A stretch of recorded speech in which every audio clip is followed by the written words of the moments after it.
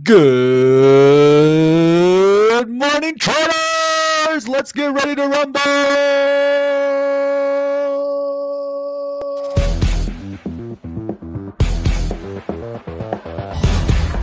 Winner, winner, chicken dinner.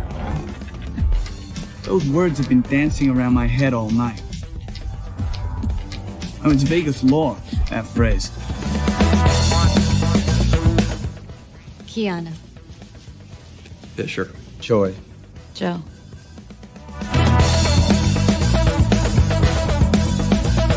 Cards drawn are the past, ones to come are future. And the best part, it's beatable.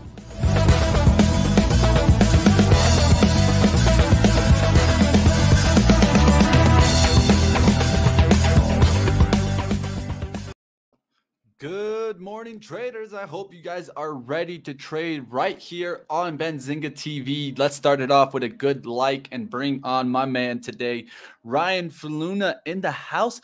Aren't you at the office, man? I am, man. I am in the Benzinga HQ. It is spectacular. We're having a great time. Really excited for this morning.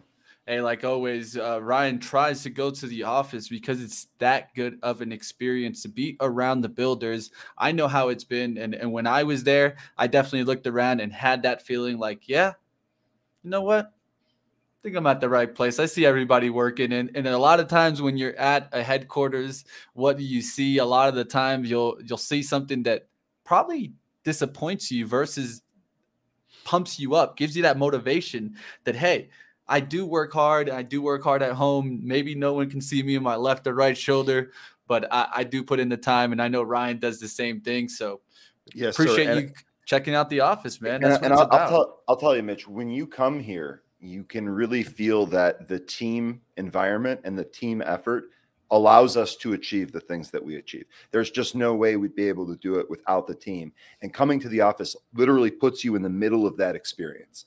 Um, it's it's awesome. I, Definitely, we got we got to show this on on on on a recap for the the company too, because they they if they haven't already done so, they definitely need to check out the headquarters. Yeah, for sure. Let's go ahead and take a look at the overall markets.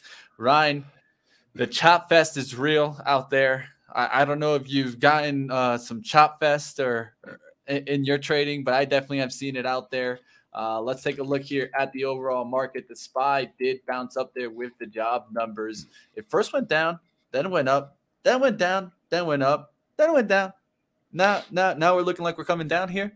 So it, it's really a choppy market right now between, I would say, 43, uh, 438 50s and 440s. That's kind of the levels that I'm looking to see what's going to happen here. Uh, but what are you thinking? It's been that type of market out there. Yeah, I'm thinking the exact same thing, Mitch. It's been very, very difficult in terms of swing trading, which is really my bread and butter, right? Mhm. Uh, I do day trade. I enjoy day trading. It's fun, but my bread and butter is going to be swing trading, finding things that uh, are undervalued and have and have tremendous catalysts. And it- it's been very, very tough with the back and forth that you're talking about.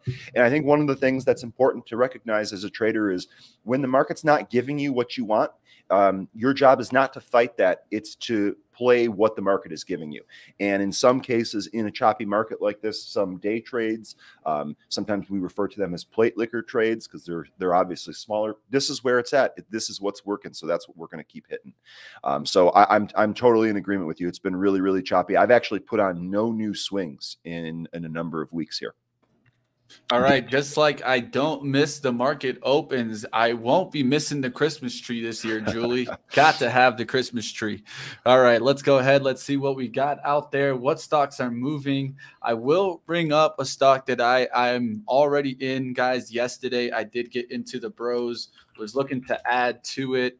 So uh, I don't know if you got to see my research, Ryan. If you didn't get a chance, maybe after you check out pre-market prep, I brought in depth research today to pre-market prep boots on the ground i actually went to a dutch bros coffee as you guys can see here Uh, Whoa! I, I went for it and, and, and I took the shot and I, I took the stock. So I went and bought the coffee, right? So we'll see what happens today. Already trading up at 437, uh, 40, 43.78 there on the ask. Big spread So just be careful with the stock like this. Now that I will definitely put out there, but I got in yesterday right at that 43 mark. We'll see if we can continue moving on up today and get that next lift. That was Uh, actually a really good entry looking at that chart. Good job for for hitting that. Let me ask you, is Mhm. this coffee the best coffee you've ever had? Is it for real or is it The hype is, I'll tell you that. the hype is for real? Love the it. hype is for real. and, and I think that's all you need to know, right? I yes, mean, sir. Yes, if sir. the hype is for real, then maybe the stock can start really ramping. And one thing that we definitely did see on this stock is a ramp right out the IPO. And if you remember, I think for a while there, uh, Luckin Coffee was really thought that it was going to compete with Starbucks, right, Ryan? I mean, I there was a time they, might have thought that. I don't They- know how many other people actually thought that. I I, mean, certainly didn't. there, there was there was talks about it at least because I mean we were getting lies out of China, but I mean the truth is what they were giving us was looking towards that direction. This is my idea. Does Bros really start taking the market share here underneath Starbucks? That's what I'm going to be wondering in the next couple of years, and that's why I took my shot here in Bros. And another thing that I think could happen is it could become a meme stock. But let's go ahead and let's tr- transition out of this. Let's get into stocks that you guys want to watch out there in the chat. Let me know in the chat if you guys have a particular stock that's sticking out to you.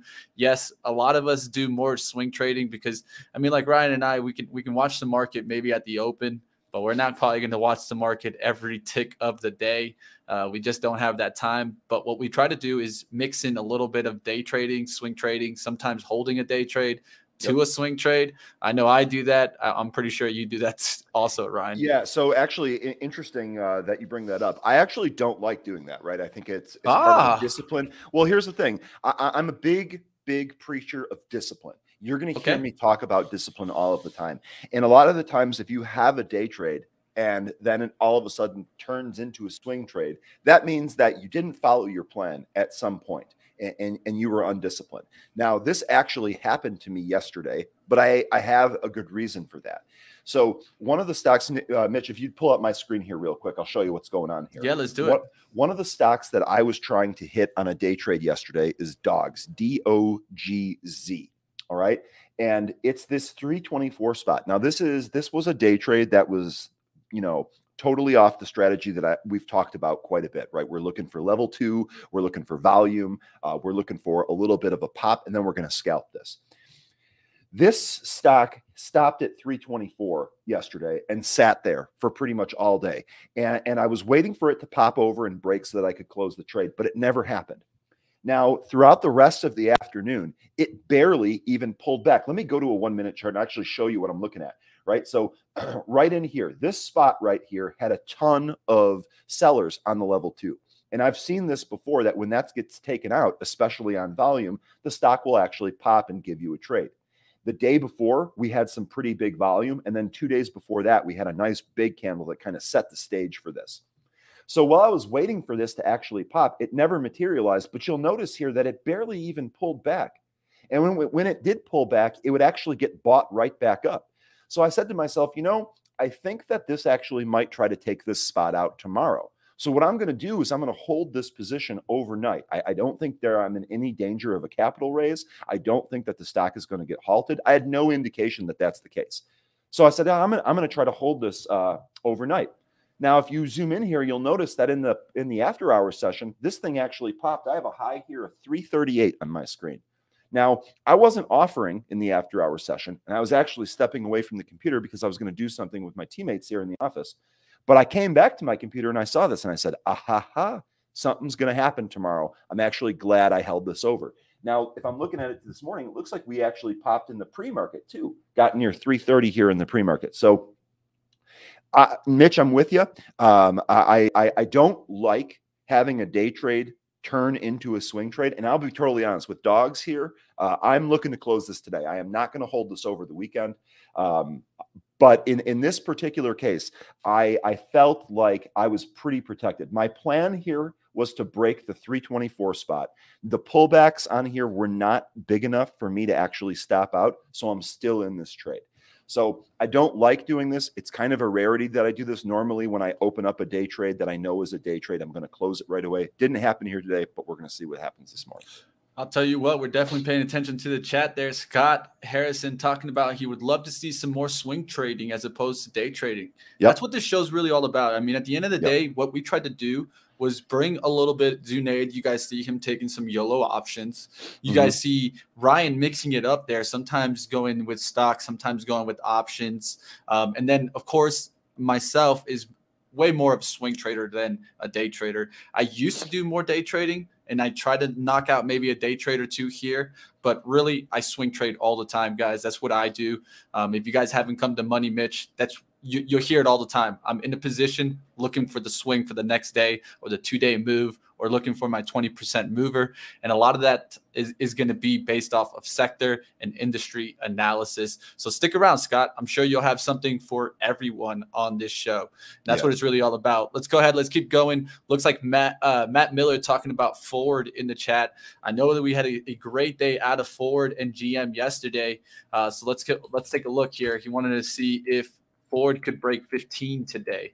Um, let's go ahead and take a look at the daily list. Um, at least from my look, what I would look for more is a pullback, at least holding towards 1465.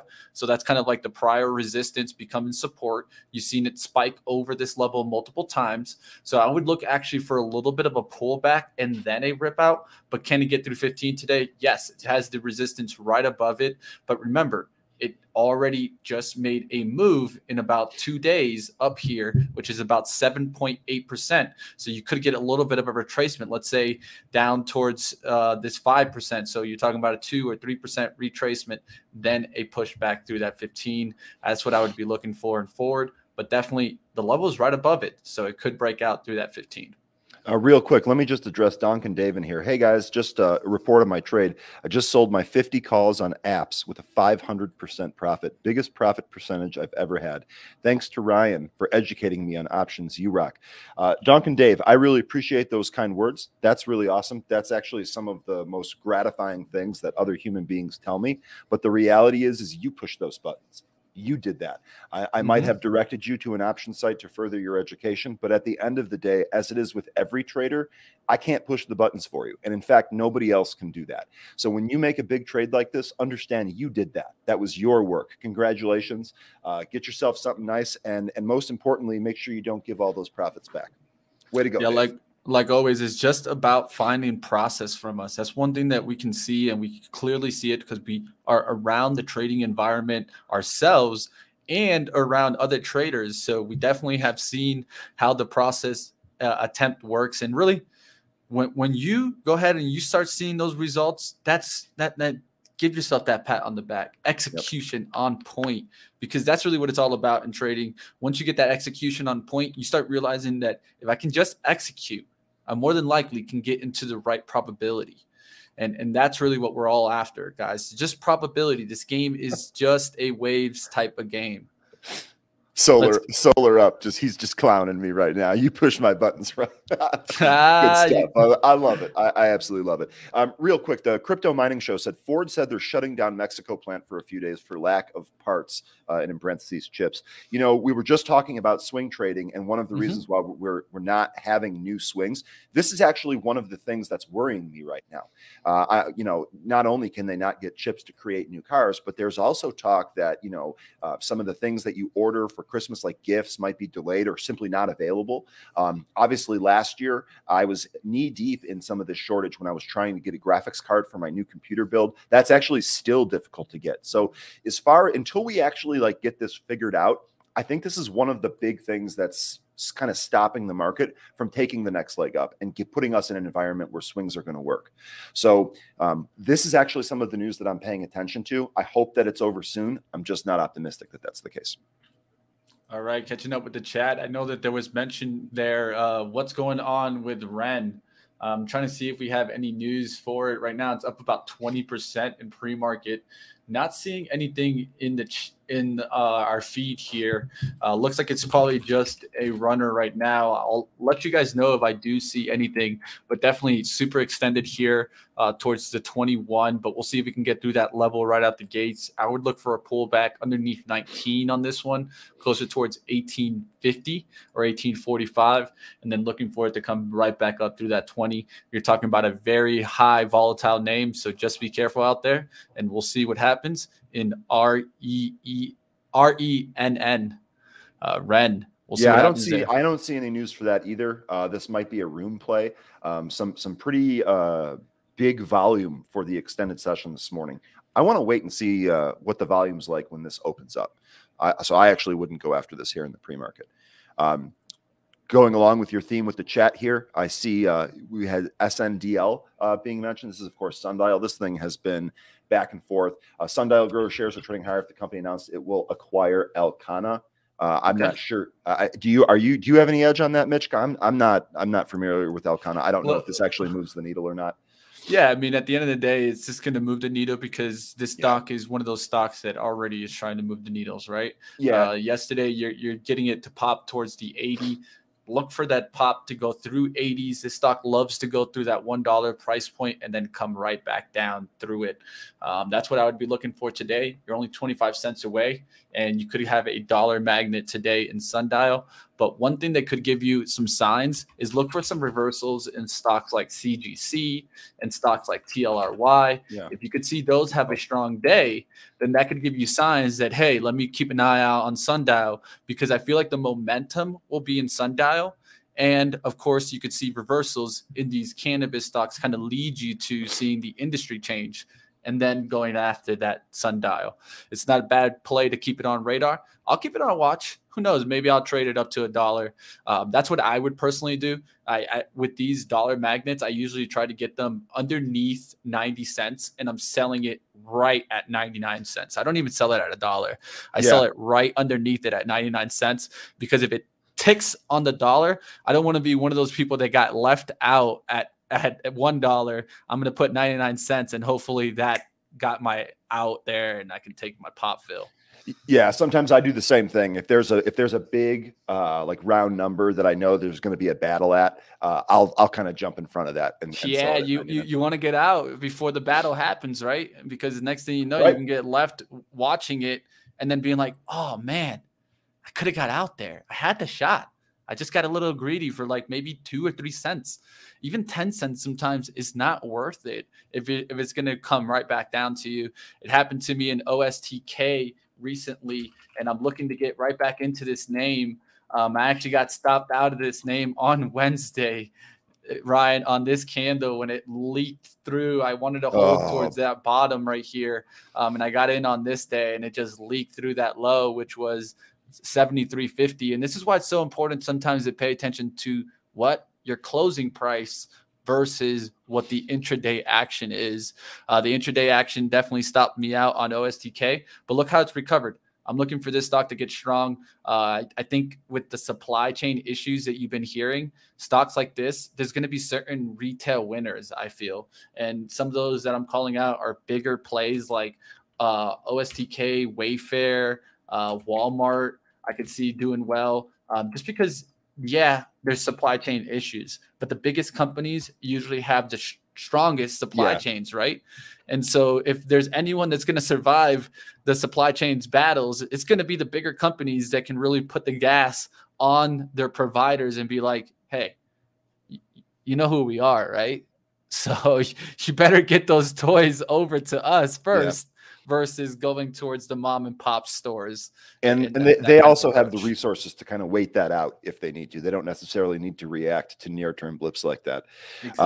Um, you know, one of the things that you were, what was that OSTK? I think that last mm-hmm. stock that you had yeah, pulled up there. Overstock. Um, yeah, overstock. So, so a couple of things there. So this is, you're actually identifying one of the reasons why I use mental stops sometimes, right? Mm-hmm. Because that action stopped you out when you were, when you were looking at it and you know it's tough. I, I, don't, I don't necessarily want to advise this to other people because, you know, if you don't have a plan, uh, if you don't have that feel for it, um, mental stops can actually get you in trouble, right? Oftentimes, your first stop is your best stop. But this is a, a, a really good example of why, in some cases, we use some of those mental stops. And if you go back to your daily chart there, Mitch, you had a number of that, you had a, those spots being hit on that trend line. Let me tell mm-hmm. you something. When that pops, when that stock pops over that trend line, that is going to be an ideal swing candidate because you're going to be able to swing long, I think, for probably a couple of weeks, and you're going to get some good movement out of that. Yeah, I've played this one multiple times uh, to that to that level, and I've sold uh, in this time back in early early Jan. I grabbed this one and I was able to sell it up towards 90. I didn't sell it at 100. Each time it was like a little bit underneath the trend line, but I was looking for that move towards the trend line. We'll see what happens in this stock. Uh, let's keep going to some other ones. I did see Grow go off the ground, uh, reversal there. Uh, looks like CCXI being mentioned in the chat. Uh, this one's a major mover of the day. Uh, looks like what looks like they got approval for an FDA drug. Uh, multiple resistance right above it. I'm gonna see if it gets through this resistance. Look how it's just look how this 3748. There's three tries to it already in the pre-market. So there's the first push, there's the second push, and now a third push. I would be okay with a pullback to VWAP, but you don't want to see it break through that support of 3350s. And I would like to see it right back through that 3748, looking strong with some volume out the gates. It's okay if we get a pullback right out the gates, but I wouldn't want to see it break through, let's say 33 on the downside. It, we'd want to see a quick move down, quick move right back up. All right, let's go ahead. SBET SBET being talked in the chat. Sharp Link Gaming. This is a cheaper stock, but I, I don't mind going through them if you guys mention it in the chat. I mean, of course, I, I don't know too much exactly on Sharp Link Gaming here, but I can tell you I would use more of a weekly look to start seeing that it is on support. But one thing that you can clearly see is that it was driving, right? It was doing some drives, drives, drives, and then it came back down and it tried to drive here. It gave a really strong bullish candle. But then what happened with this candle? It came right back down below that. That to me is a is a bearish sign that it doesn't want to hold the positive momentum above seven. If it doesn't get back above seven, I personally wouldn't even be trading this name here. All right, sorry. Looking at the looking at the open here, got my scanners going. Uh, obviously, CCXI hitting that. Um, just kind of looking around. Don't necessarily see anything yet. Um, let me take a look at the broader market here. my brain, my Not brain's flat. two to three seconds slow, man. Mental stops don't work for me, said the postman. I, I can't blame you. You know what I do in that situation? I, I do a lot of uh, I don't put stops like clear stops in, but sometimes I'll do stop limits. Um, and when I do stop limits, it's usually going to be under a clear level. So let's say if the level here was 422, I'd probably put my stop at like 418. A couple cents below it. I'm okay with it hitting if it does hit. If it does get down there, we broke through the level. I want to get out. And, and that's what I tell myself, uh, especially if I need to just like put an order that can go ahead and execute on its own. Usually that's going to be a stop with a limit order, three to four cents away from that. Looks All like right. uh, Grom popping out of the open here. Um, did see that that Oatly is really kind of trading out of the open here. They got an upgrade by J.P. Morgan, uh, yes. uh, which is which is why you, that is, you're seeing that pop there. Good momentum in Oatly though. Good volume as well. Uh, I will let you know, uh, Ryan. So Oatly actually, their CEO two days ago went on uh, Bloomberg saying that yes, their shortages were starting to go ahead and catch up, and their factories shouldn't be seeing shortages shortly. So that that's another thing, a positive. You know, why I think the analyst came in, Ryan, was off of that. I think he came in and stepped in. Okay. Okay, that's that's good context there. I actually didn't have that, but it looks strong There's out of the gate here. It looks like a little bit of a pullback Ooh, there. I like that VWAP trade right there. Um, so let's see if it ticks slightly below 580s for a second here, and then comes right back through 16. I want to see it go to 1575 and then right back up through 1590s. Let's see if that materializes. You know, I'm, I'm looking at here AEHR too. This thing has been in an absolute monster run. Um, and actually, shout out to Andrew Weiss, one of our teammates here. He nailed this. Uh, he's, he's been in this since like I think six or something like that. Just absolutely wonderful trade. Uh, but this thing also strong out of the gate here. So no position here. This is a little extended for my taste, but uh, this, you know, there, there might be some opportunity to scalp here. Uh, DOGZ looks like we're on 330 here. So uh, I'm going to be looking to close this. We get a pop here. We clear this out. Let me just let me take a look at this. Got kind of got to focus and make sure. Looks like we're taking out the big seller here at 330.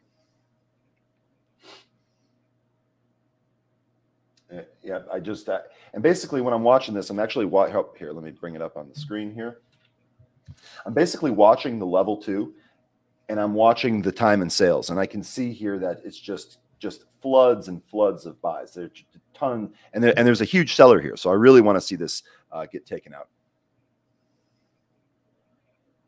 We'll see. We shall see. Oh, here, let me I, let me get Slack turned off here. There we go. Uh, they're trying. They're trying on DOGZ. So if we zoom in here, I don't have level two to show you on the screen, but basically, if you just take a look at the level two, you can see exactly what's going on. And we're actually getting what looks like a refresh seller here, which is uh, Spencer. Of course, he wants to know that. Hell no is my answer. Hell no. Uh, Postman talking about he uses his RSI indicator to place stops as well. That's not a bad thing. Uh, the only thing that happens with RSI, sometimes it's lagging. That's the only thing I would talk about with RSI, Yeah. but doesn't mean you're incorrect in doing so. Just trying to put it put that out there. All right, I'm gonna take a shot here. Uh, let's do Oatly. All right. So what are you doing? How, what what Uh, shot are you taking? All right, I'm long here. Let's do it, guys. 1575s. I just got to fill on that pop back there. I wanted to see it hold that 1560 at least for a second there.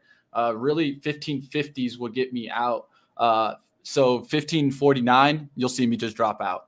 Uh, but if we can get it back above 16, I'll look for that extension up through that 16 high that we have here, which is 1613. Let's see if we can get it back through that level right now.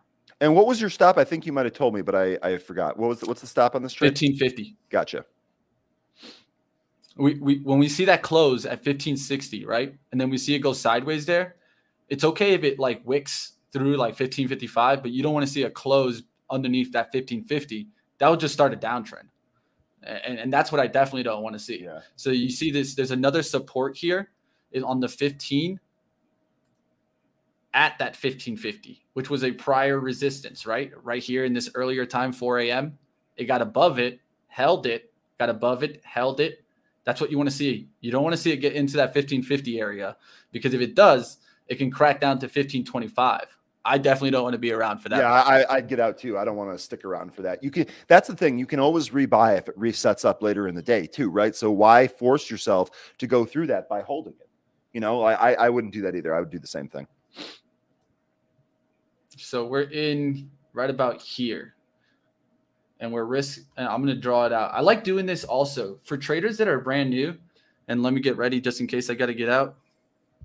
All right, got it ready here. Um, so when traders are new, a lot of the times I like to draw out the trade for yourself and give yourself a visualization of what you're expecting to see so that if things go against you or for in your direction, you almost painted the picture. And so that's what I use these boxes for a lot of the times. And I want to see how's my risk to return? How's this box compared to this box? Is this box bigger? Always needs to be bigger. We want to be getting more reward than we're risking, right? And so that's why I also draw it out for a kind of a geometrical representation of your profit to loss ratio. So it looks like we're right on 1551 here. So it Yeah, like we, we we, we're we're we're spreading out. Do you see the spread going right there? Right now, I'm about to get out on the bid. Boom. there it Let's is. see if I Yep, sharp, a really really really sharp pull there on Oatly. And I'm I'm still waiting on Whew, DOGZ. that took a second there, but I got out. 1550s, I got out. Yeah, I mean, I'm, I'm and so on DOGZ, the trade that I'm still in, I it, they have been pounding this 330 level. I gotta think that here. Let me pull it up. Sorry, I had your I had your uh, Oatly up. Um, I have to think. Uh. I have to think they take 330 out. I mean, they just they keep buying. It's just like a, a full, just like a, a spigot of buys. Mm. So Spy broke down there at the Yeah. gates. There, that's that, that's. I should have been keeping a closer eye on the spy. Uh, we got a quick down move there in the spy towards 438s. We'll see if the spy keeps breaking down there. Definitely multiple resistance tried to get through the 440s on the spy, and then we just quickly went down towards the support. I'm out. I'm out. It's all right. Set up for the next one. Hey, that's what it is, guys. You got to just stick to the trade plan. And and sometimes, and, and this is going to happen. It's very hard, but if you get out on your risk, give yourself a pat on the back. That's what it's about, guys. It's not about staying in there and then just being like deer in headlights if it goes to 1525. Because when you get into becoming a bigger trader, when you're going to start taking bigger sizing, and especially if you're trying to do this more as a day trade and with bigger sizing, you need to be disciplined. That that loss right there that was a small loss could be really bad. Let's say if I was swinging there at a thousand shares and then I just froze up for a second and didn't take that 1550. So I'm just taking a look around here. Dog Z, man, this thing. I, I'm looking at the scanner. I'm clicking on all the different things on the scanner. In fact, two airlines just hit the scanner. Looks like they're having kind of a rough morning. But Dog Z here, this is working out. I th- this trade, something's going on here. I can feel it. All right, I can feel it. So we took out 330, we took out 331, and then there's more uh, more stock being offered here at 332. Um, they just keep buying. it. I think that this has room to 338. I kind of want to stay in this. I think we're going to get a, a little bit of a bigger pop here. Uh, so I, I'm still in this. Haven't closed this out yet. Uh, like what I'm seeing so far. Hope we don't get a, a really sharp pullback here. Uh, AEHR, this thing just absolute monster. This thing is continuing uh, to push. It Looks like above 18. We we snapped through 18 here, pushing up towards 1840. Man, if you're in this, this is this is a this is a big thing. This was on one of our programs too. I can't remember which one it was. Uh, it was a couple of weeks ago, but this this stock was on there, and this looks lit. Um, let's take a look at Sundial. Let's see how we're doing. This is why we wanted to wait until the market opened, right? We got some of that volume. Sundial really kind of pulling back. To me, if we pull if we pull past this 71 cent level, so pretty much one penny we're from where we're at right now, we break this and trade back down, we could be in some trouble. So um, this is exactly why I just didn't want to believe Sundial. It looks like Baba on the scanner too. What's Baba doing? There's these Chinese names. I'm, I guess I'm surprised to see this. Looks like they're bouncing a little bit. This is going to be a no touch for me though. Yeah, this is one of those danger days in the spy where I think we could get a crackdown if it keeps moving on down here. So I'm paying attention. I want to see it get back through that 440s to give me confidence that we're back into the bull, back into the bull control here. Let's see if we get that on the spy. I'm also putting out an order to try to maybe add towards my bros trade. Uh, I did see a nice dip there. Wanted to get 4250s, but it just went right off that level way too quickly. Didn't give me a shot. And this is one of those that clearly shows you that you got to be careful, guys. Look at the spread on this thing. The spread sometimes goes as wide as 30 cents on this name. So you got to be careful when you're trading a stock like that. Um, I normally, if I see a stock that's trading that wide, I probably try to stay away from it. But this is more of a swing trade for me. Sorry about uh, sorry about leaving you hanging there. Um, No, you're day- good, man. The, the day trade that I'm in is it, there's a lot of stuff going on. So There's some movement. I, I hear you. Got to pay attention. Capital Gotta- preservation keeps them keeps Mitch in the money. But really, it's it, that's what it's about. Is I like the, especially when you're a newer trader. Survival is the game, guys. When you're a new trader, I just want you to think about how do I survive? How do I make this account last the whole year? There's too So- many traders that try to like go with their first account and their goal is to be a thousand percent return on the year. That's just that's just unrealistic expectations. Try to your first year in trading. First thing that you you should be trying to do is not lose money. Yeah. The second thing you try to do is Yep. try to just be break even trader. And the and the third thing you try to do after you can be a break even trader is get yourself in the discipline so that you can get that green result. I think it's very important for traders to, to try to find that on their own. You know, one of the things that I got told when I first started this by someone that had far more experience than me, uh, and I've said this a number of times, he said, Ryan, you need to learn how to lose before you learn how to win. And, and at first, I was like, way. "How does that make sense at all?" Like, I'm I'm just going to learn how to make money. I, I you know, I, I'm in this to make money. And and the reality is, is he was he was talking about capital preservation. You have to learn how to keep your losses small. You have to learn how to manage your risk. You have to learn how to deal with when your plan doesn't work out the way that you think or hope that it's going to work out. And that should be step one. And if you can do that and you can preserve your capital and you can live to fight another day, eventually you're going to hone on your process to the point where you're going to be able to hit a lot of these and, and actually make quite a bit of money. So um, I, I'm really glad I learned that lesson. Uh, I'm really glad that I had people around me in my support system teaching me that. Uh, I, I love to hear you talk about capital preservation, Mitch. I think that's really, really smart. I think that goes a long way in helping uh, newer traders figure their way out through this career because it's not easy. It's yeah, not easy. y- you know what I always say is try to stay in the game for as long as you can before that account goes because what you're trying to do is see if your system works, right? And our system might not work in 10 trades, but maybe after 50 trades, it starts balancing out and it starts you start seeing the results actually going in your direction. The best thing to do there is to give it that sample size, right? It's a, a five trade sample size. It's not really a sample size in statistics. So try to get that a little bit more, and you can see how your trade's doing. Uh, Lisa Lay, I'm gonna start calling you the Hunter since your last name there is Hunt. I'm gonna start calling you the Hunter because QS. Look at that move. Look at that VWAP bounce. Woo, that's that's the one I should have been buying up. that's a a that's a hindsight 2020 right there. But definitely a nice little pop up coming back to VWAP.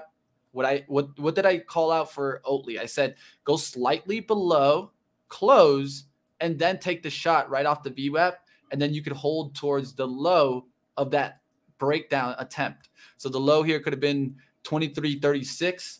You're getting in somewhere, let's say even 2350s, and you're holding down right underneath that level. And then it comes right back through the highs. You could sell some through the high at 2376, then look for the extension on up for the next level up. Uh, QS, not a bad move there by the hunter being called out in the chat. Not not at all, not at all a bad move there. And honest to God, if we take out 2466, I mean, I think we can actually pop. I think this goes higher. I'm just going to say this right now. I'm not one, in this, but I sure. think this goes higher here. And, and and I wouldn't be surprised if we actually end up challenging the can. What is this candle from? September 24th. We got a high print there of what? Uh, let me. It was pushing on the daily. Yep, Looks like we're high getting uh, 28.74. mentions of MCFT boat seller here. Uh, is, this is this the boat seller? Uh, No, this is MCBC Holdings. This is just too choppy, man. This is very hard. You, you got the algos taking over here, Jay. Uh, I part I personally would stay away from a stock like this just because whenever I see this amount of choppiness, I mean, really, it's just hard to trade there. But do you have some scalping ability here? Yeah, I think I think the algos are scalping it right there through the 2675s and holding down towards 2650s. It's a really tight trade, but there is some scalping action there I can see. All right, looks like RENN having a good day here. Let's go ahead and take a look here. Uh, What did we get out the open? It came back down, held 20, now pushing back up really strong. This one's probably the strongest mover of the day. What I liked about this one is that it did give you a pattern setup. We should have kept this one on the radar. And for that, I'll give myself a non pat on the back, a pat on the forehead, and being like, stick with the stocks that are moving sometimes. This one was a good one. R E N N. Yeah, sure was. This actually looks really strong too. Yeah, Uh, really I- strong. I, That's I why got, a- I got a minute chart here. We just took out the day high that we took that we set right out of the open. Mhm. Huge green volume here. This might go. There we go. Pop right through the high again. Wow. Yeah, it's strong. Definitely strong. One thing that I will mention though, the spread sometimes going as wide as 20 cents there. So right there, the spread actually opened up 36 cents.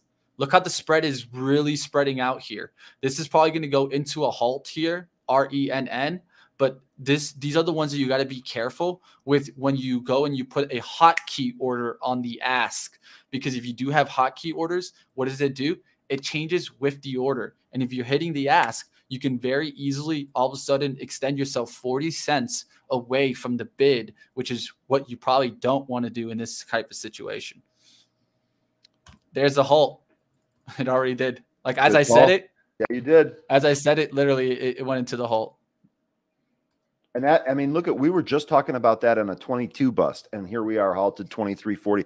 This is why those high of day breaks on the day trades are, this is why people trade them. It's Mhm. because you can get these big pops like this, and you can have really, really nice profits in a short amount of time. Yeah. Now, we, we've talked about it quite a bit. I don't like being trapped in halts, Mish. I don't know if you like being trapped in halts. It, it's, I First don't like don't scare me too much, to tell you the truth. the Ryan. volatility ones. Yeah, yeah. As long as it's the first halt. That's my rule with halts. At least I've Yeah. seen a lot of halts in my day trading days. And in my day trading days, what I found out probability of it continuing going up on the first halt is actually high. Probability on the second halt is in the middle. It's usually 50 50. Probability on the third halt is actually to the downside. Um, reason why is that you're talking about at that point, you're talking about probably a 30 to 40% move. And it's Yeah. just very hard to continue a stock in that direction without any type of pullback. Sometimes you'll get that third halt to actually pull back, halt on the downside, and then it comes back and halts on the upside. So for me, I had a rule that I was okay with sticking with one halt. If I got in the halt and I was already in it and I'm in a great position, I'm usually looking for the stock to open and I'm going to throw out an order a little bit above so that if I get a quick spike, I get a quick fill and I'm just out of the trade. Now, what I definitely don't want to do is get caught in that second halt. If I do get caught in that second halt, a lot of the times what I would do, Ryan, is as soon as it opens up out that second halt, I don't even care where the price is. I'm hitting Flatten. the bid.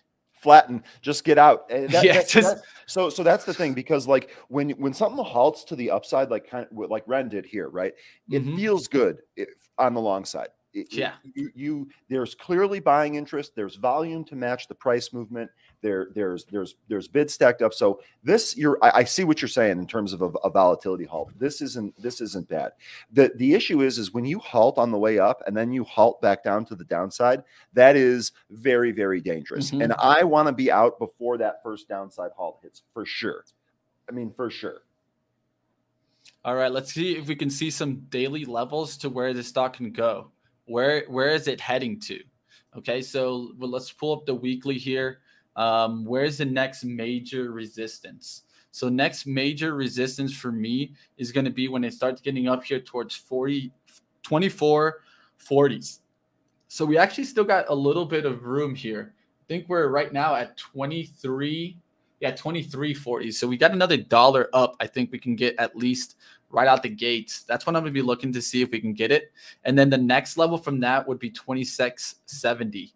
Um, the real resistance that you can clearly see, and I'd go back um, to the monthly. And when you go back to the monthly, you're going to be able to see it kind of really stand out is more up here towards the 30s. And so we got our levels really to start looking for resistance to hold. So 24 40s, 26 70s, and then 30s will be the next level ups. So look for those to kind of hold, get above, come down to it, then bust out from that. What does that give you? That gives you the ability to go ahead and see if you get that break of resistance, hold the support. Break of resistance, hold the support. That's what I'd be looking for out the gates. Uh, looks like we got about one, two, three, four, five. Let me see when this halted. Um, I know that that's why I like using my Benzinga Pro. You'll see right here. Look, watch. I'll just go, oh, I, I, I don't know on my charting service when this is going to open up. But if I have Benzinga Pro, I can go ahead and see right here. Okay, so we halted on circuit breaker up 41% at 947.42. So what that gives me, I halt breakers are usually either five minutes or a 10 minute. Um, so in, in this case, I'd be thinking five, I'd be thinking 952.42. And so we could kind of draw a, time here. Let me see. I think I think I can get the time here. I know one of these gives us a clock here. What are you to trying to do i'm sorry Oh, just trying to get the clock, the actual clock on my. oh on your computer Yeah, yeah. I, I always like to pull up the clock here. So let me try to see if I can get this up here. I remember there's uh, the clock button. Uh, DOGZ is starting to get really, really interesting here. Volume really starting to pick up. We're at 333. There's the open. There it is. 52. It it was right at the 42, um, right before 953. You should see it. And actually ticked down This is why you got to be careful there if you were pushing the ask on that 23, right? Because you might have gotten 23.46. That's how I lost uh, uh, uh, very easily. Uh, I lost here. Let me go ahead and, and reshare my other screen here. Um, that's how I lost $750 one time, Ryan. I'll tell you about that story in a second, but sorry, dealing yeah. with uh, an issue here at work. Oh, no worries, man. Go ahead and handle it. All right, guys. So we're seeing red right now pushing on through that halt. It actually out of the halt came down here. Let's see if we get back through that level. Uh, the halt was actually at 2341. Let's see if we can get back through that. And Ren continues to push. Definitely one of the biggest movers on the day. Just did a major push up. We'll see if it gets back through that level.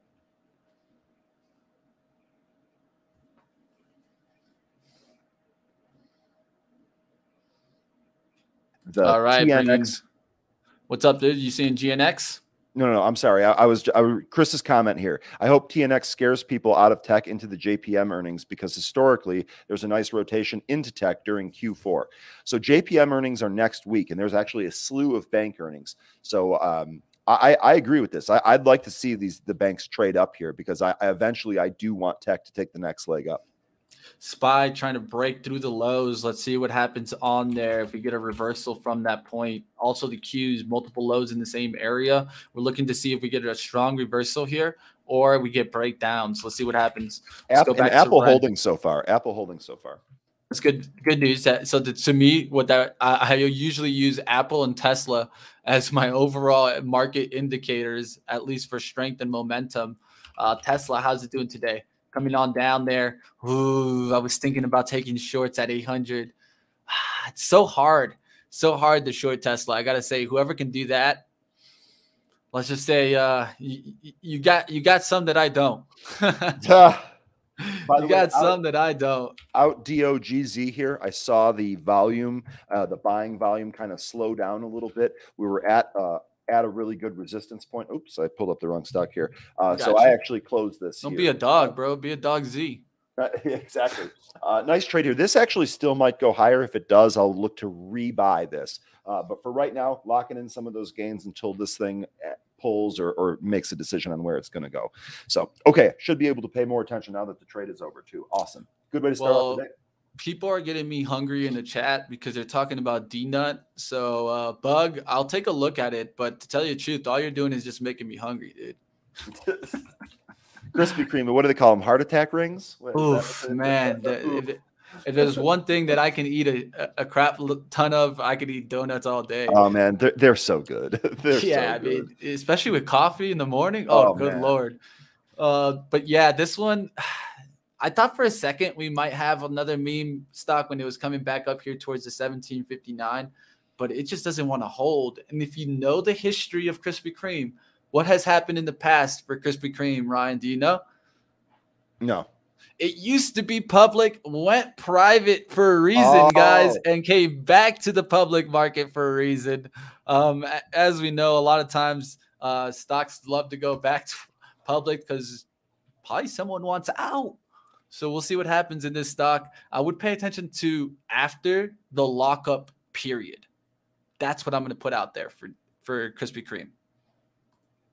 And uh, one of the things I'm seeing here is CRISPR, right? This has been a darling recently. Ticker CRSP really kind of just sinking out of the open here. Um, you know, if I take a look at the daily, we actually look like we're trading down into a support area. So yeah. if you wanted to take, if you wanted to try to play this for a bounce, um, this is actually not a bad area to take this. Um, I, am not. I'm. I'm not in this. I'm. This is. I, I, don't necessarily have an edge, but this is actually a really compelling spot here. Taking. I just see CEI hit the scanner. This thing has just been an absolute craziness the past few days. This came back on from what was it? We talked about this, Mitch. This came what from like 470 all the way back down to. I, I, it's. I know it's pushing back up, but I think that your call is going to stand. It's not going to take. It's not going to set new highs it's not going to set four dollars. I didn't even give it four dollars. So uh, to me, that's the level to see on CEI. It would need to break four for it to really be bullish. To me, it's going to run it into resistance at 250s. Uh, that's kind of the level that I would see for it to run into resistance and then probably head back down. Personally, I think below one dollar, but That's just what I'll be paying attention Yeah, to. No, I think that you're right. And I'm going through the chat here. Tom Brady saying, not touching CRISPR. I got burned on RK ARKG once, never again. From what I know, Tom Brady doesn't get burned uh, unless he's playing the Eagles. in the he's a goat. Goats don't goat. get burned. But um, but as, as far as CRISPR goes, I mean, CRISPR this this has just been such a good stock. It, it- it's it's been such a huge winner. I think that one of the reasons I'm enticed to play this is because it can move so crazy, and and it, was you know this is the, the gene editors, right? This was along with um with Sorry to interrupt there, Yeah, but let's I, I, I can't Ren. blame it. Rodrigo knows. Ren. Look at that. Look what did it do? Hold 22. Right back to it. Are we going for hold number two? that's Let's see what happens here. wild. It pulled a dollar forty cents, then went right back to the highs, busted it, and is now pushing. It- Unbelievable. Look, look how it holds that high. You see the, the resistance I drew out? Look how it held it.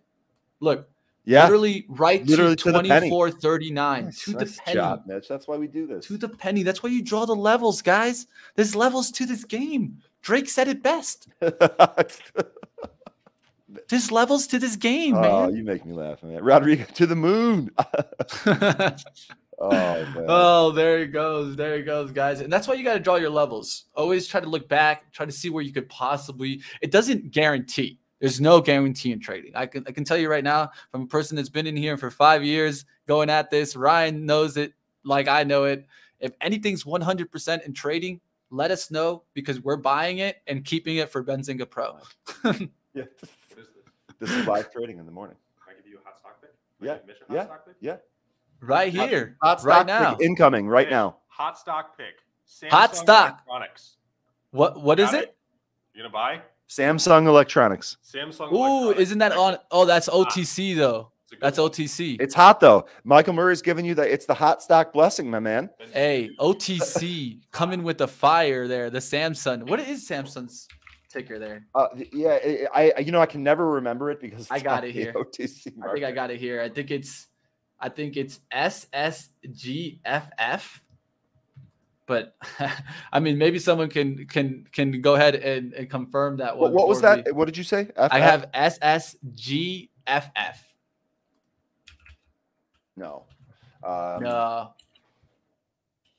Samsung. Uh, there's a couple of them here. It's just because when you when you trade OTC, sometimes you get like these off exchange ones. Um, I got here SSNGY. M- but Michael's man. messing with us. That's Sam- no, no, no. It had it had news today. I don't I don't mind him bringing the stock. It actually had news. It, it they put out good good uh, guidance. The, the Is problem this is, so? Okay, so is this OTC. SS, SSGFF? that, that's what I was thinking. Yeah, I don't. I, I mean, no, this doesn't even resolve in in Crow. Someone help us out with the Samsung ticker. right? Samsung. I don't know it, man. Let's go back to Ren. Are we gonna get that second W. halt? Oh, but this is Look how that resistance held, man. it's crazy when the resistance holds to a penny. That's when you start thinking, oh yeah, technicals work 100%. we know how that one goes, right? yeah, right, yeah. No way. Nothing's hundred percent, man. Nothing's 100%, man. Looks like someone's putting also the SN SSNGY. I had that one. Yeah, n- none of them seem to resolve. Interesting. Yeah, it, that's that's what happens when you're on the OTCs. Yeah, Do you that- well, that's the thing. OTCs, That's the thing. Ryan? We also no, I don't. I, you know, I, don't even started, I touch it. started with OTCs. I've been burned by more OTCs than I care to admit. Um, it's just not a part of my trading plan. It's I- it's it's not for me.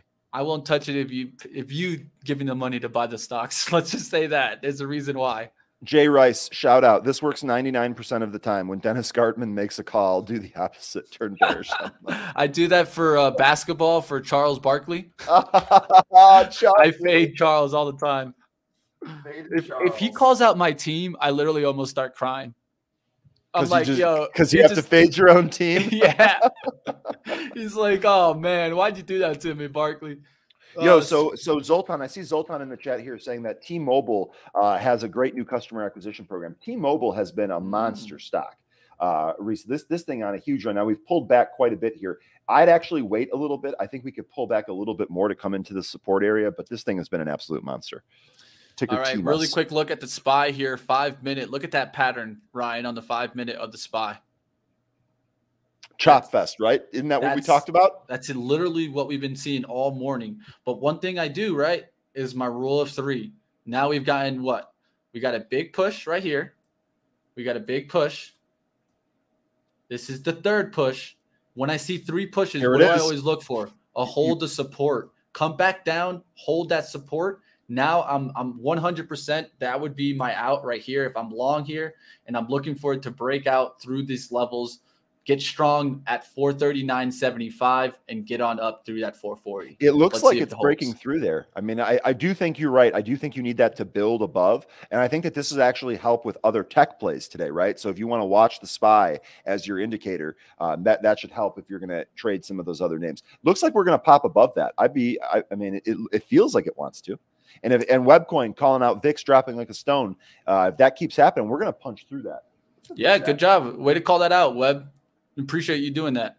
Uh, let's take a look here. What I always talk about, right? Do I see the pattern on multi time frames, right? So let's see the one minute. Oh, it's right there.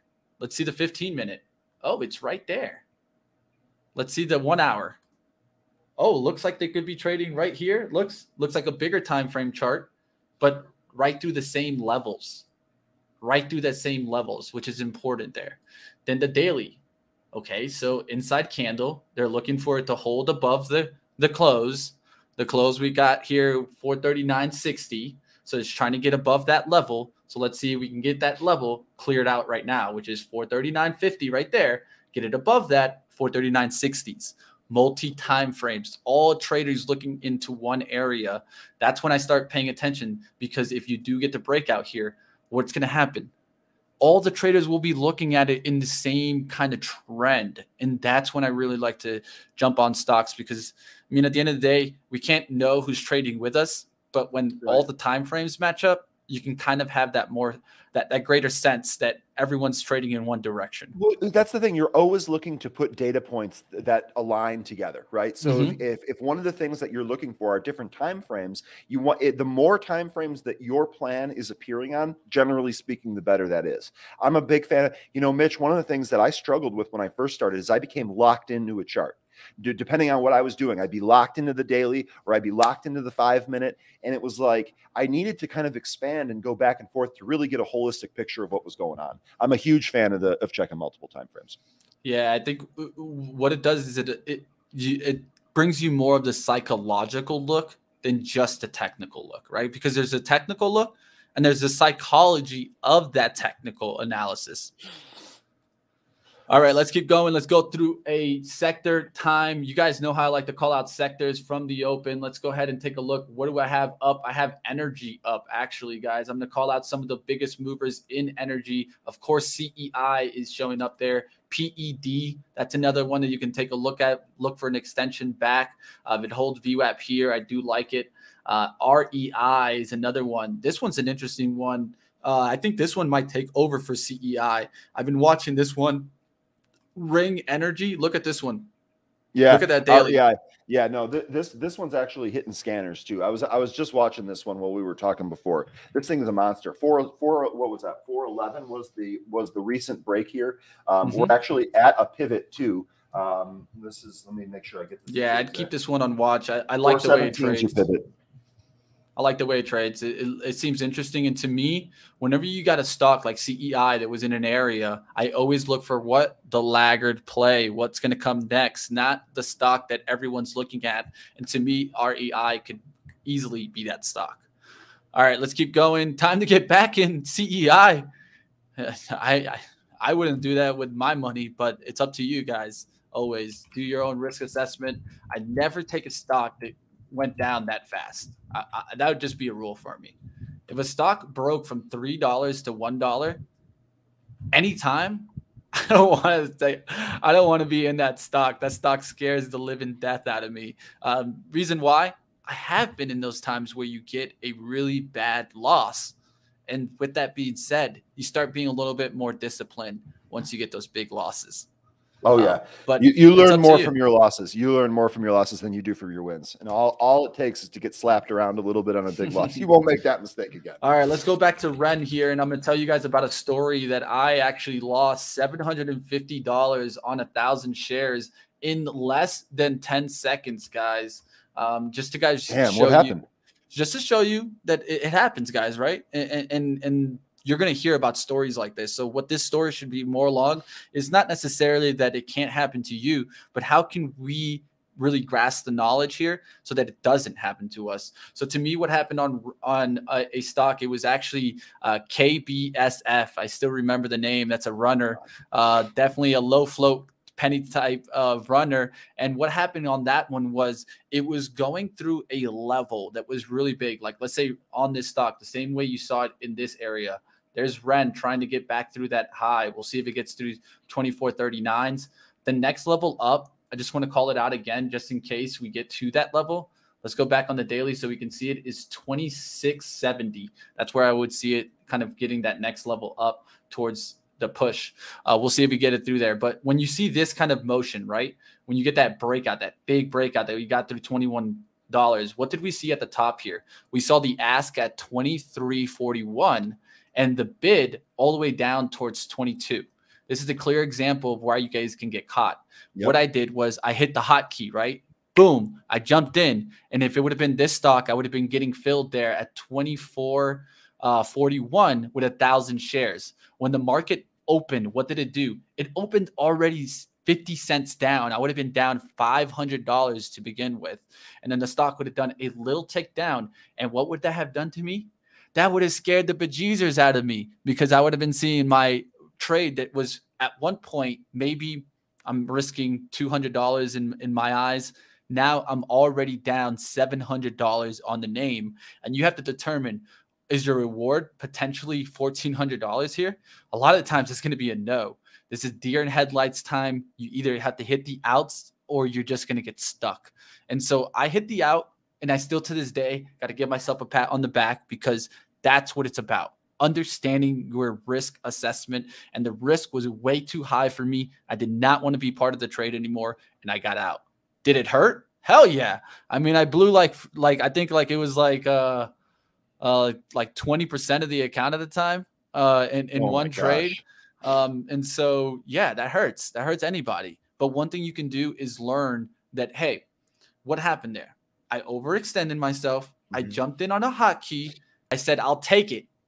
And I didn't what? Assess my risk, my real risk in the trade. And the real risk was for it to come back down all the way towards the low, the five minute low, the 15 minute low. Look for that low. And if it undercuts that, that's your true risk sometimes I feel like we as traders we try to give ourselves a level, but also look for the the bigger time frame support because that's what I call the true risk. Because at any point in time, a stock can always just quickly turn around on you. Uh, real quick, while you were going there, um, REI pulled back a little. RSLS uh, looks strong, pushing towards the top there, and AEHR also still pushing. I mean, this thing looks like it's got a 20 magnet going right now. Honestly, Whew, this is a stock that I, I mean, I don't know who trades this one, but I, I- do know there's there, there's people that have been talking about this stock for so long, and I mean, I don't know when I drew this level or I drew this buy area. It looks like it was on October fifth. We got to see what we were talking about here. Um, I was I was calling out this level probably on on Money Mitch. Uh, I was calling out this buy area. That's where you see that square. Um, reason why is because it filled the gap it gapped up here, right? Gapped up on the 24th. Then I wanted to see it fill the gap and then break out through that gap. That's literally what you got there. Yep. So nice little buy area. I've been seeing these shadow fills, Ryan, like none other. Like normally I see some shadow fills. I've been seeing crap ton of shadow fills. I'm almost about to change to a shadow fill type of strategy, and I never have thought I- about doing that, Ryan. yeah, I've never done that myself either. I've never Ooh, done wow, it. SDPI but- pop, huge pop. Look, look around, Ryan. It- it- I will. I'll look into it. I'm see- always see looking to see add it. new tools to the toolbox. yeah, you always got to keep your eyes open, right? And when I see Always. something, at first, it's not like I confirm the pattern. At first, I get more speculative. I'm like, nah, that's not there. I'll I'll try to look for it in other stocks.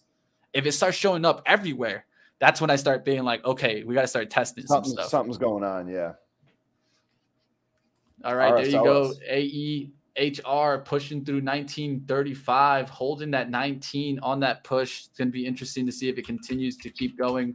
Ren, uh, let's go back to it. It's been fighting to get through the highs. What are we starting to see? We're starting to see that third high here. Um, at least in my eyes, I always start looking for what? Now we need to hold support because we're starting to get these kind of breakout attempts.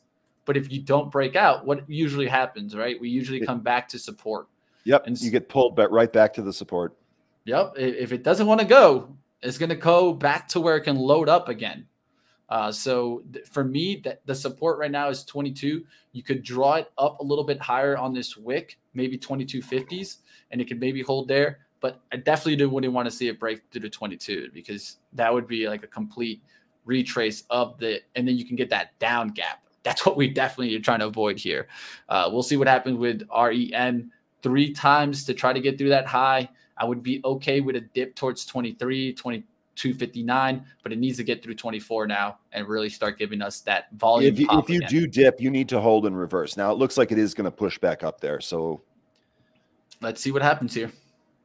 So you could call, you could draw a trend line, and what you want to do is you want to see it close above this, not wick, close above this. That's the important part. The if you get you can get caught a lot of times on those wicks, right? Like let's say right here you were like, oh, I think the breakout's through 24. As soon as you see 24 on the ask, you go and you buy. Now it's all the way back down towards 2350. That's why you need to sometimes I like to what I like to do is look at the bid side and the ask side, talk to yourself, understand, hey, if I get in on the ask, where can the bid go down to? Because if the bid is where you're going to get out on and you're getting in on the ask, then you got to be careful because that's how you can get caught in between the spread. The spread itself is a risk, and then the level underneath it is a risk. So understand both of those. that's good advice, Mitch. CLNE, by the way, CLNE off the scanner here. Uh, Someone else was calling it, I think, in the Clean chat. Jay, energy. J- yeah, uh, Jay, good call here. Uh, he, he's telling us this is still going. It is, and it's I Wall love it. Street Bets name. Love it. Love that. Love the chart. Clean chart. Nice push. Good levels. Big volume into the first push at 875, showing you that there were sellers at 875. It came back to what? Prior resistance, which was right here. You can clearly see these wicks. Resistance, resistance. Third try, hold, push up, come back to it, then break out. We see these all the time, guys. Old resistance becomes wild. support. Uh, CLSK is one I wanted to take a look at. Uh, CleanSpark. Let's see what happens with this one.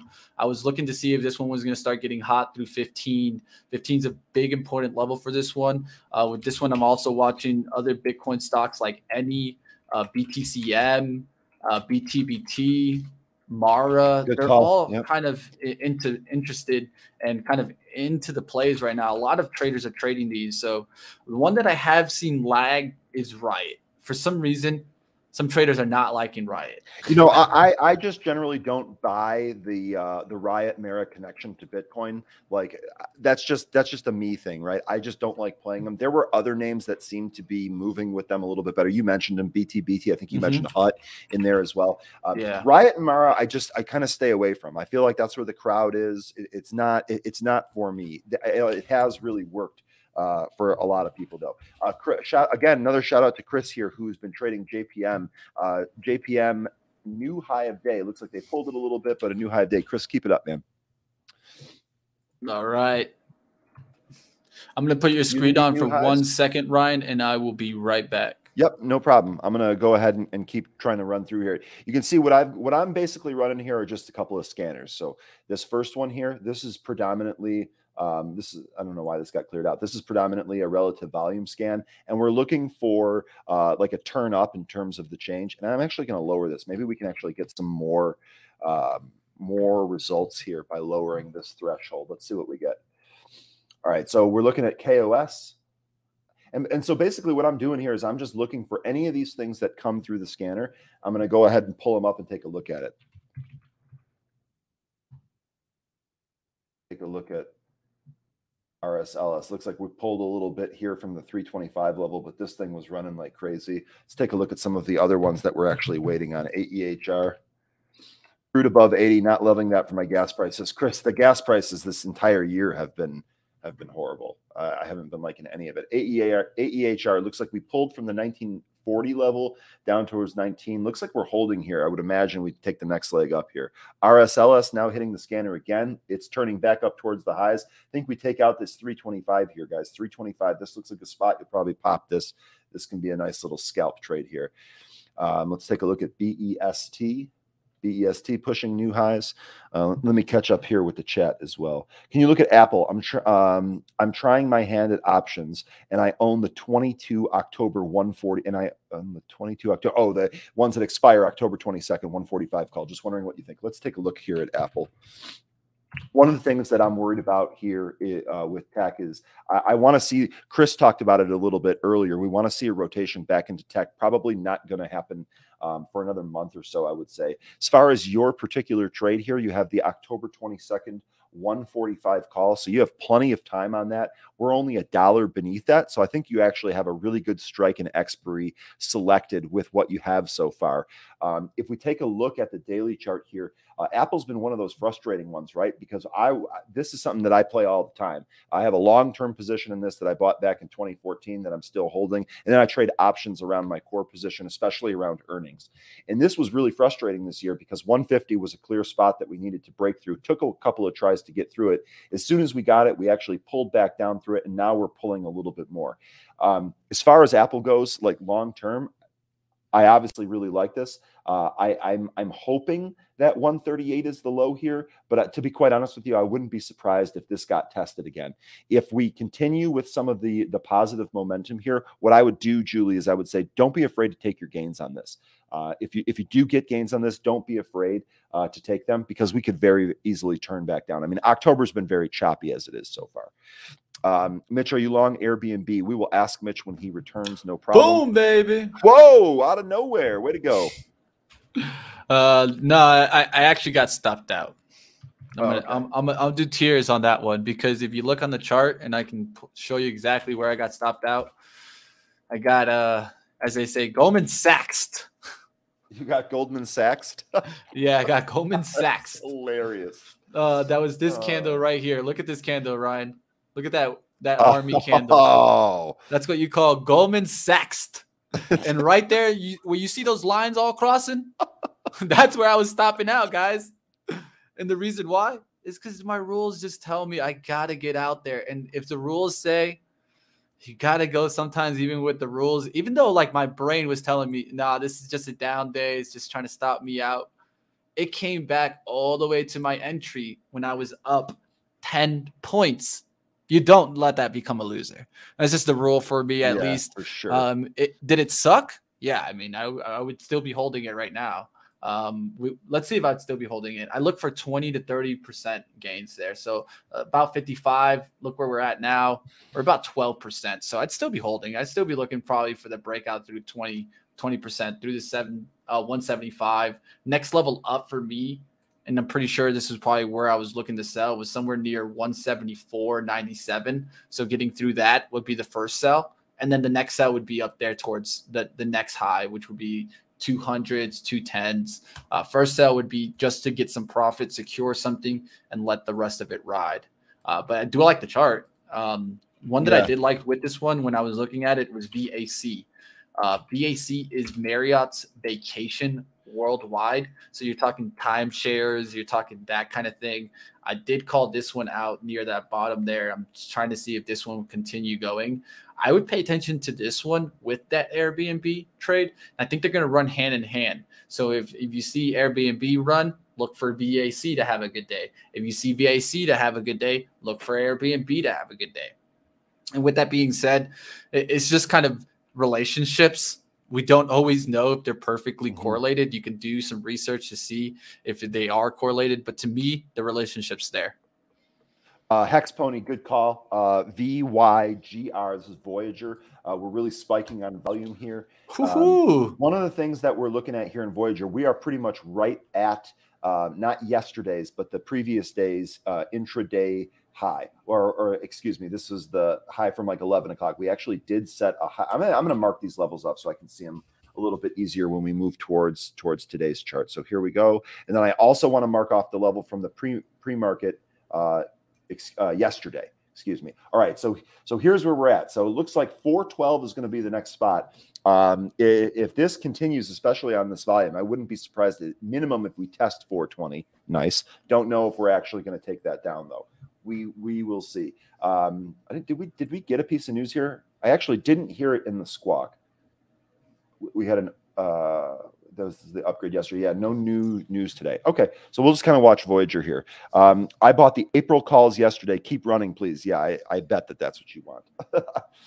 which calls did you get, Webcoin? Uh, which which webcoin did you or which web? Which webcoin did you get, dude? Come on, you gotta get that webcoin. Webcoin needs to sell us or send us some webcoin. That's the truth. Okay, so there we go. Right through that 420 area. Just hit. Boom. That man, I took my eyes off the screen for one second and it popped through here. What do we got on the on the high here? Well, uh, I, I think there's no perfect timing than to uh, I'll, I'll let it try to pop there, but we, we need to do a little little Bitcoin review here. Yeah, let's do it. No, let's let's do that. That's a good idea. I actually haven't looked at Bitcoin since I was in those trades.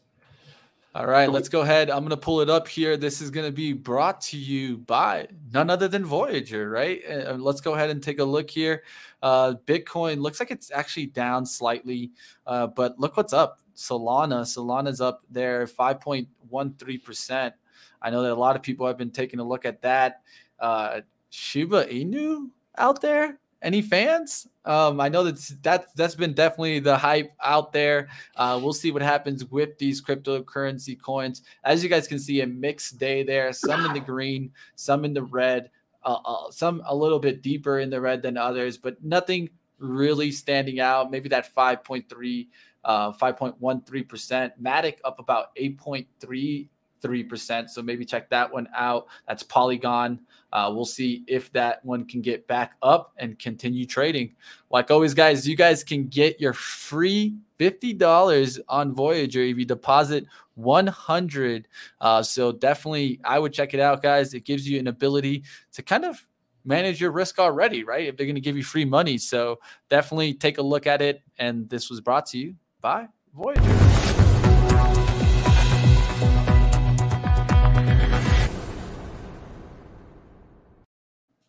All right, let's get back to it. What are you seeing on there? Uh, well, I actually was Trill Money here was asking about Open. He says, "What about Open? It's up five percent."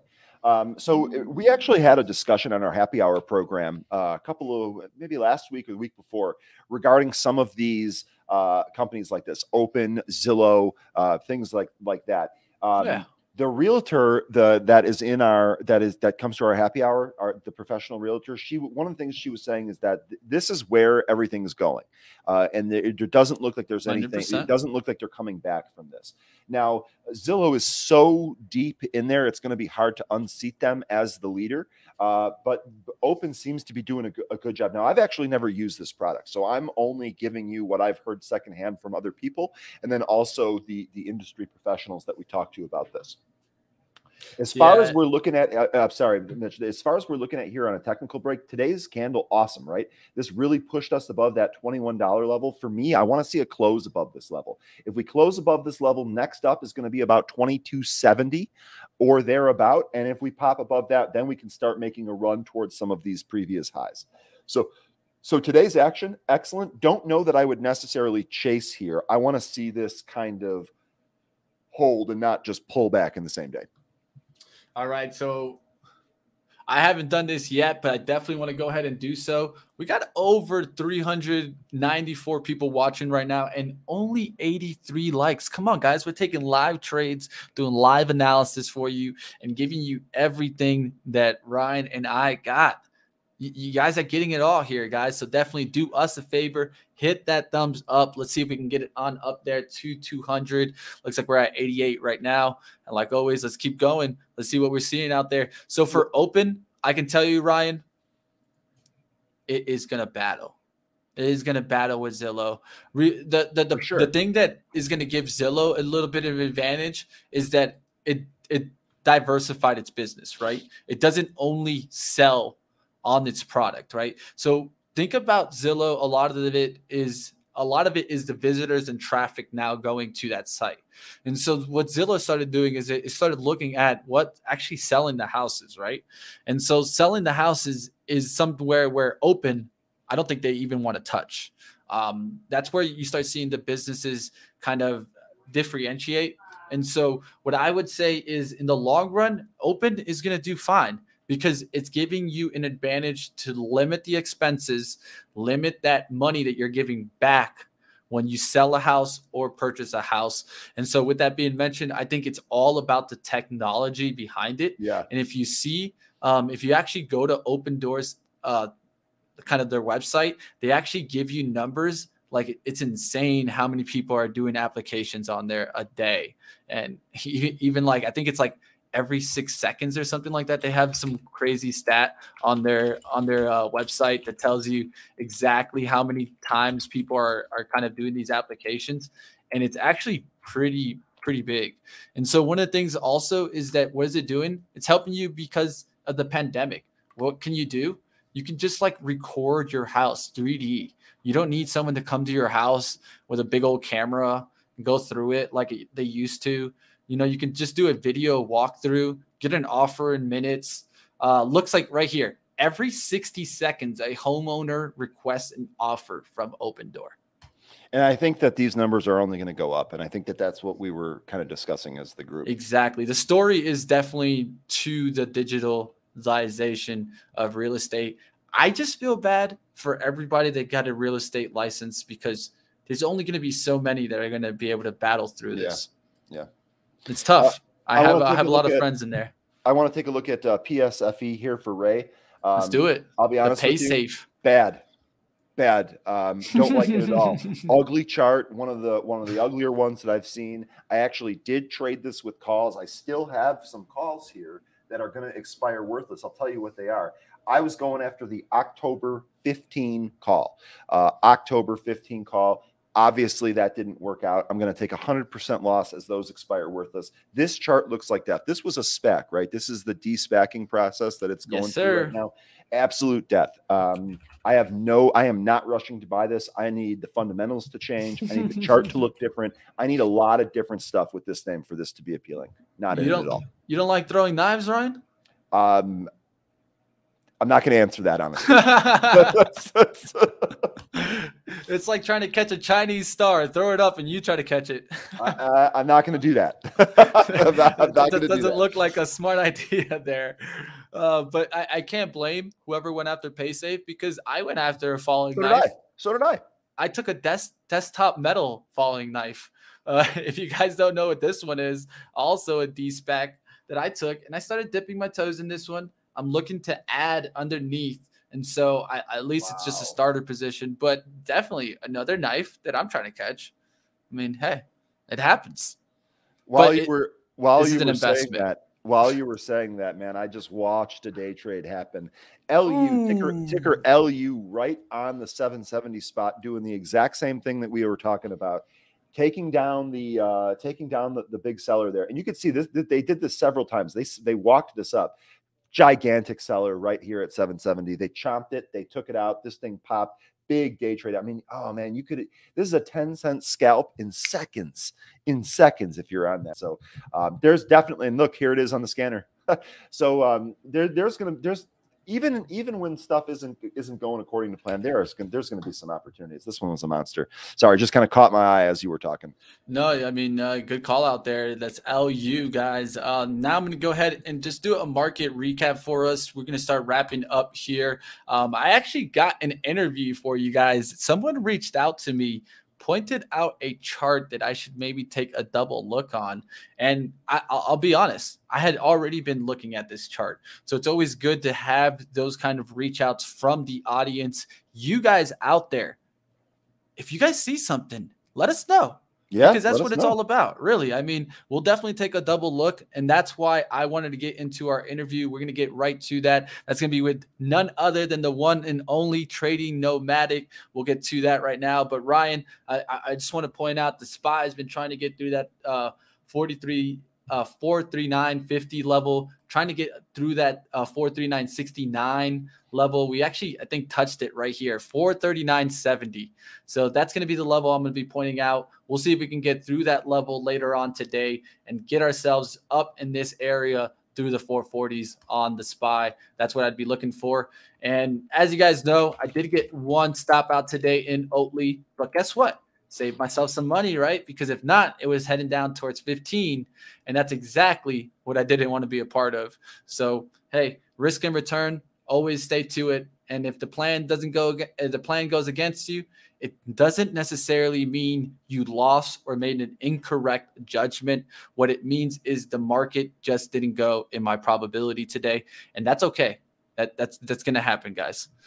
All right, Ryan. Anything else you want to leave us off with? Capital preservation. Don't. This isn't the Wild West. Be very careful. Be deliberate, but be tactical.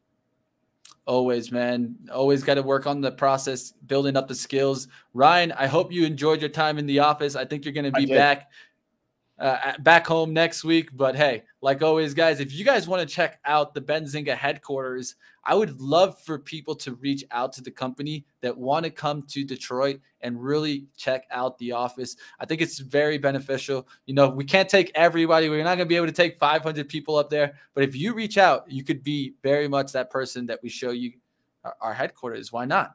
Let, come check it out at Benzinga in Detroit, downtown.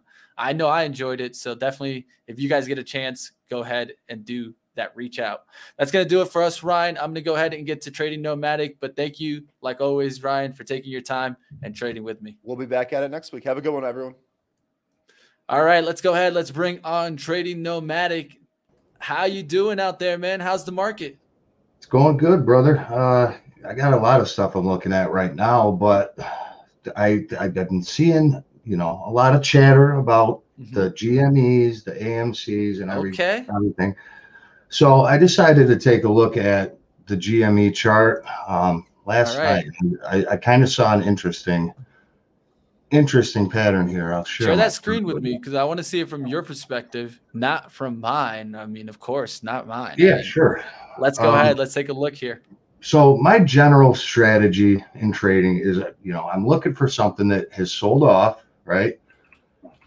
and then formed. Um, this is a harmonic reversal pattern. This is a bullish Gartley, and it's it's an XABCD wave. It's a five point wave that basically implies that the mo momentum coming down from this sell off is now changing. You know, it's reversing. It's going from you know a sell off.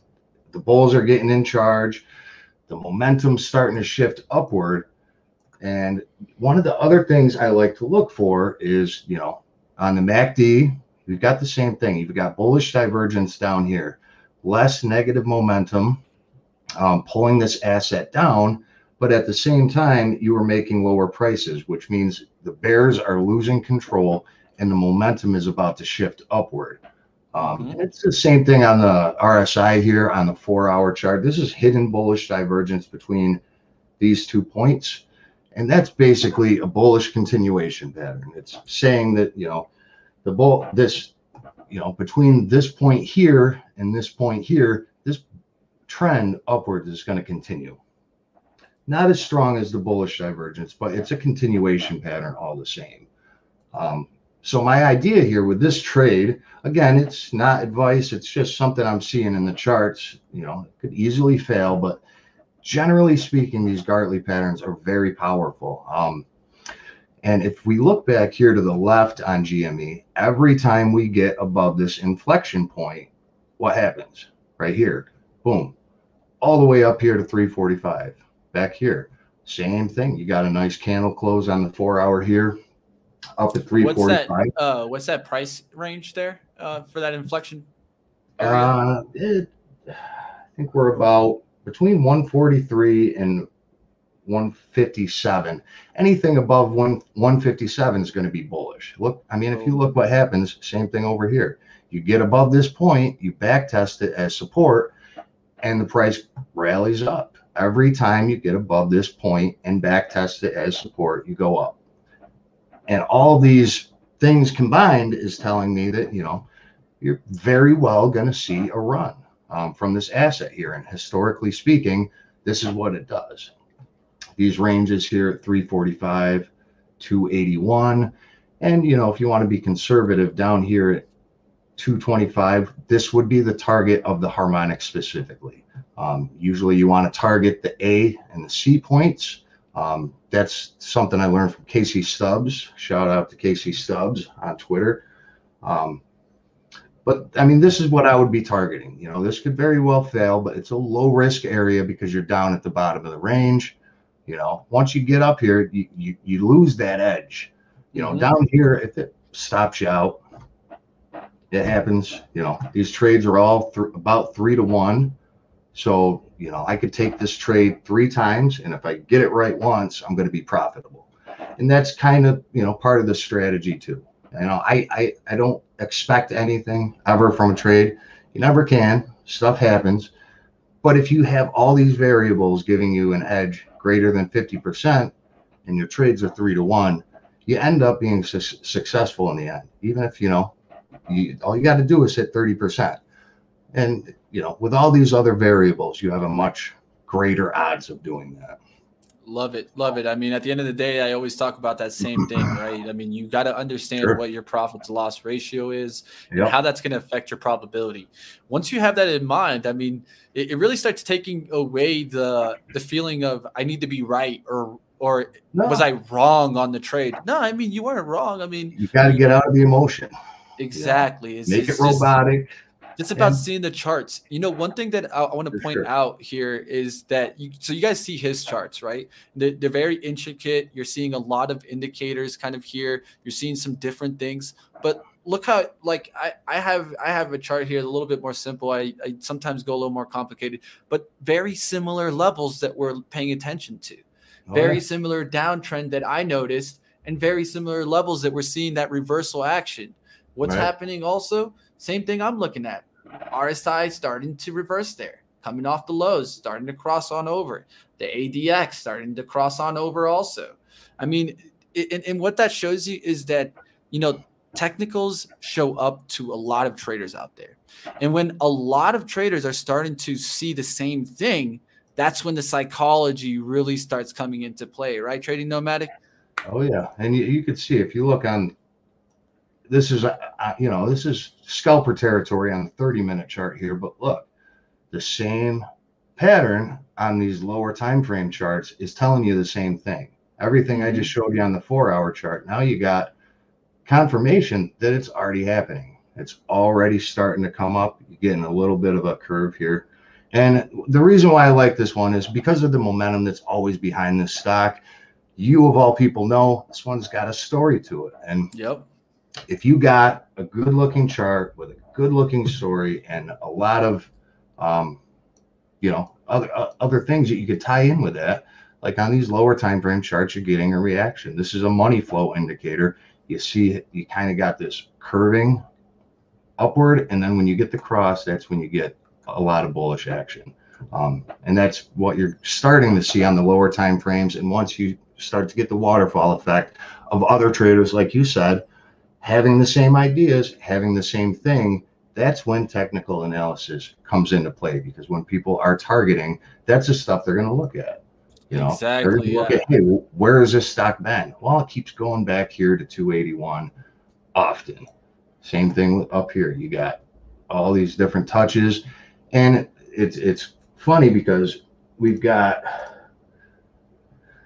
AMC doing the same thing, and I know that's a crowd favorite. Yep. Same thing. Same Right. thing. You got the sell off, this falling wedge, bullish consolidation, broke out of there. You haven't done much, but what you've got is this large reversal pattern that trapped the bear or the bulls here. You come back down, the bears get excited, and then you trap them too, and then you go up. You kind of shake everybody out because if if you get people scared at the bottom, they're going to buy in higher because they see it go up. Now they want to buy. It's market Yeah. psychology.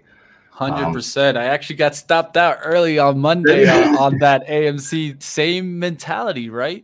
Um, I did get stopped out because I mean the market blew through my level, but that Sure. doesn't mean what. What did I clearly state also on that tweet? I said I'd be looking for re-entry confirmation, There you be go. looking for that level to get reclaimed, and then looking for the bullish momentum to come into the name, and then I could get it back in it. And that's what it's all about Right. too. Is you can get out of the trade. You don't see it going in your direction in that timing. That sometimes I put like a really short time frame on when I want to see Sure. that positive reaction. And if I have a clear level of support, I can get out and get back in. There's- Oh, yeah. especially in a non-commission time frame like we You trade now with with no commissions.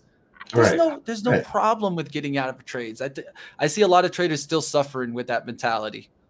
Well, it's my my outlook on that is if you get stopped out because your plan didn't go how it was supposed to. Well, now you can sit back. You don't. You're not taking losses. You're not getting emotional. You know. You, have you ever been the guy sitting there? You know, you were gonna get out here, but you just let it go a little bit further. Oh, I'll get it when it hits the bottom, and it just keeps on going.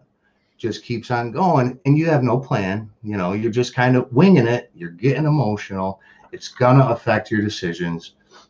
You know, that's you know, people talk about FUD and you know the fear of uncertainty and doubt, and that's what happens. It's a real thing. The same thing with FOMO, especially if you just got flooded out at the bottom, mm-hmm. and then you see it go nuts. You know, right afterwards, then you're gonna get hit with both, and that's that's a dangerous thing because if you you know say you get out at the bottom and then you buy when it goes up. Well, guess what? What if it goes back down a little bit and gives you one of these? You know, gives you this little XABCD wave that shakes you out and then goes nuts again. But you get, you know, you see, it's you always got to have a plan. And the first thing I do is find out how much could I lose if I take this trade and it doesn't work, um, because that's important. It's it's I would say that's more important than you know looking at how much you're going to make because it, as long as you got money in your trading account, you're going to be okay. If you blow up your account, not you know, not having a plan or letting stuff like that really gets you. It's you, you can't trade anymore, right?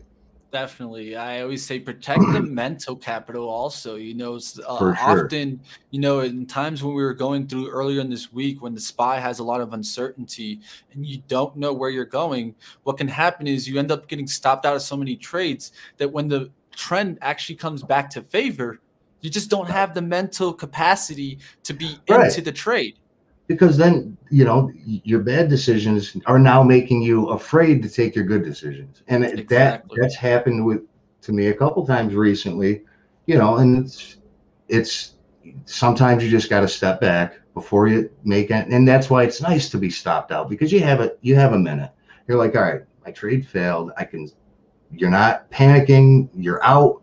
If you took a loss, you took a loss, but you know trades fail stuff happens that can't be a, a chart is never going to tell you if all of a sudden you know there's going to be a short report released on a stock that you're in long and you know it's that's why you always you always stop out. Sometimes it bites you sometimes it saves you but i'd rather be saved. Hey, you know. Well, well, one thing I have to say, thank you for sending me that chart because that's what I always love. I always love when people send me their ideas, their story, because Sure. I, I I'm one of those traders that I always feel that you can get an idea from someone else, then do your own analysis and create an opinion about that. There's they, they did have to you did have to work for me. So if at that point, I'm just gonna go ahead and check out the levels, see if I see the same thing. And that's what traders, I think, get into a problem where it's like, oh, I want to be like trading nomadic, but you don't need to be like him. You need to learn from him and how he's approaching it. share the ideas and you you, you That's analyze it about. on your own. You you got to understand what's happening, you know, on these charts, and at the same time, this is you know when I post something like this, it's just an idea, like you said. Take a look at the levels. Wait, figure out how you want to approach, you know, the idea that I have, or you know, see if it makes sense to you. Love know, it. Love it. I, uh, we'll definitely bring you back, Trading Nomadic. I Appreciate it, you bringing me that chart, and I hope that you guys out there appreciated Trading Nomadic coming on and bringing it on to us right here on live trading with Benzinga. Go ahead and smash the like. If where, where could they find you, Trading Nomadic? They want to follow maybe your tweets or, or, or right on follow. Twitter is probably the best place. It's Trade Nomadic on Twitter. Um, and I, I post stuff like this all the time. And again, it's not trading advice, it's just ideas. Exactly. know. Exactly. Take it for what it's worth. It's the chart always tells you a story and you know you got you got to make sure it makes sense to you as well. And I appreciate you guys, man. Thanks for having me. like always.